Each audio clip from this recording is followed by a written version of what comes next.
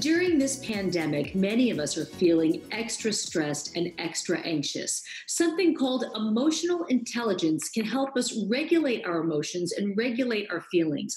We're joined now by an emotional intelligence specialist, Brittney Nichole Connor Savarda. She's the founder of Catalyst for Change. And Brittney Nichole, good morning. Thanks for talking with us. Good morning, Colleen. Thank you. Okay, pleasure to be here. Of course. Let's start with this. What is emotional intelligence? How do you define it? Yeah, so emotional intelligence is the ability to understand and manage our emotions in a positive and constructive way, to accurately perceive how we are viewed by others, to communicate effectively, to empathize with others, and overcome challenges and diffuse conflict. And this is broken down into four primary components, and that's self awareness, self regulation or self management, social awareness, and empathy.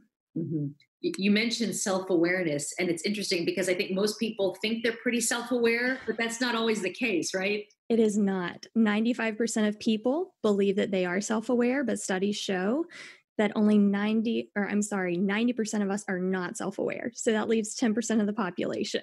Oh my gosh. Okay so how does this emotional intelligence affect our overall well-being? Why should we care? Why is this important yeah, so emotional intelligence has a plethora of benefits, ranging from reducing stress and anxiety, improving communication, stronger relationships, developing stronger leaders and more effective teams. It affects our physical health and it can aid in financial success. But let's just talk about stress and anxiety. So today it seems that we are bombarded by emotional triggers which activate our sympathetic nervous system, or some like to think of the fight or flight response. And when we are in this state of emotional arousal and distress, mm-hmm. all we are thinking about is survival. And our rational brain checks out. It's like, I'm done.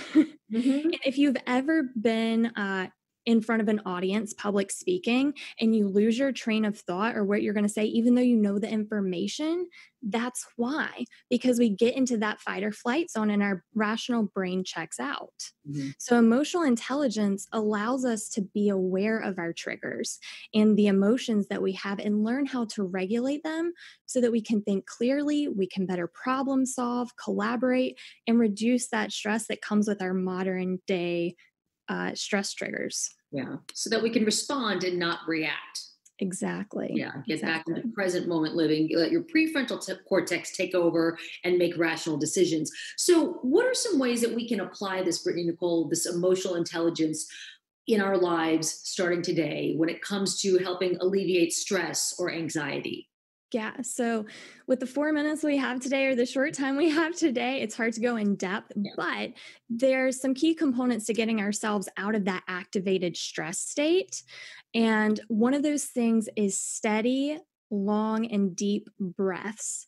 And this calms down that sympathetic nervous system so we can get out of that triggered state. Mm-hmm. So let's say that we're in conversation with another person and things get a little heated. Mm-hmm. We're not always going to think about these tips and strategies. They're great in theory, but it's not always easy for them for us to put them in practice. Mm-hmm. So another tip that I like to tell people is that behind every unpleasant emotion like anger or rage, there is an unmet need. Anytime we feel that emotion, there is something behind that. So, keeping that in the front of your mind, that'll help you better communicate your needs to others because you can identify what you're feeling and what is the need behind that. And let me communicate that mm-hmm. instead of projecting my anger.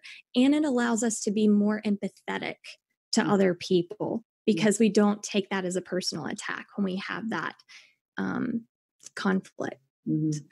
It's so true. I just did a podcast about this, but I was talking about that how your emotions and particularly anger can really inform you of something that yes. you need instead of, but you have to take a moment to feel it and recognize it. And you need some of these skills and tools to be able to get there.